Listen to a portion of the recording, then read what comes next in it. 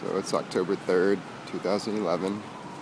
Taking a tour of the High Line And if you guys have any specific plan with the Metro Hort Group. This is way, feel free to ask. section two.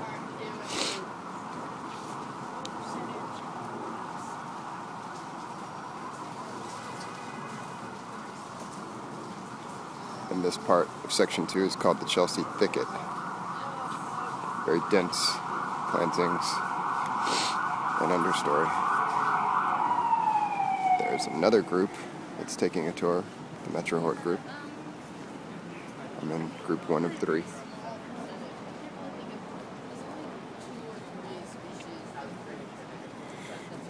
actually interesting because in all of the beds there's an area drain. And the path we're on right here is actually permeable. You can see the cactus. It's pitched in such a way that Like a, a Helenium, Uh-huh. put in a few times and it just has never really Yeah, succeeded. and that seems odd. Wow. We can, that, Yeah. yeah, that was just no brainer. Yeah. Yeah, I love these Um, I guess feature blend bench bleacher benches. I don't know. Must have like desiccation. I have my reservations about them all, and It's kind of like we'll learn more about it now.